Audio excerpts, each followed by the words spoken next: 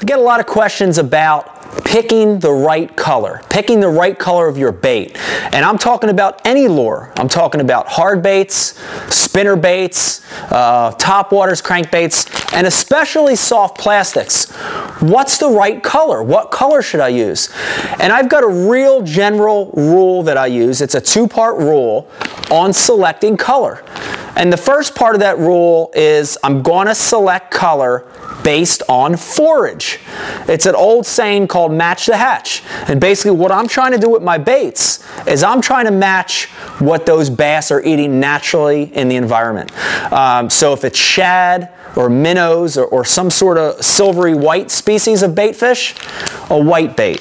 Um, if it's uh, little perch or little bluegills, green pumpkins.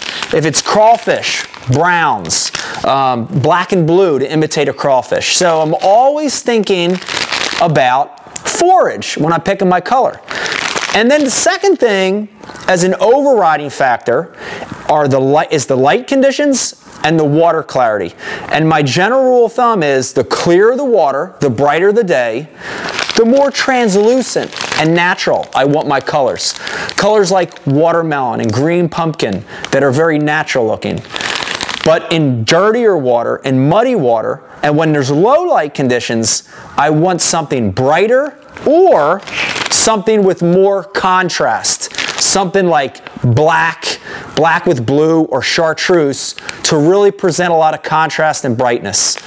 Use those two rules when picking color for your baits, especially soft plastics, and you're going to catch more fish.